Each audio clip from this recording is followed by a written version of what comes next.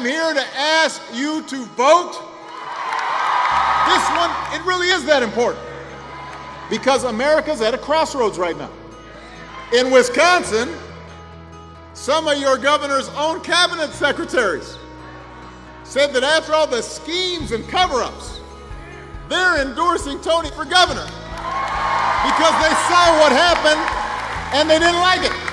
It's time for a change, folks. It's time for a change. Do you trust Scott Walker to protect your health care?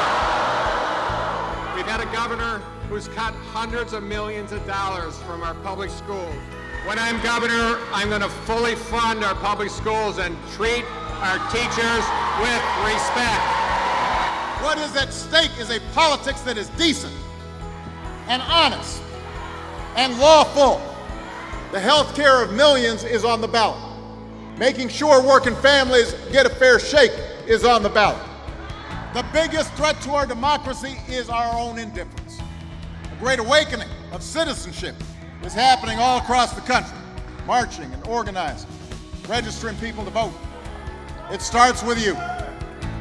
Let's get to work. Let's go vote. God bless you, Milwaukee. God bless you, Wisconsin.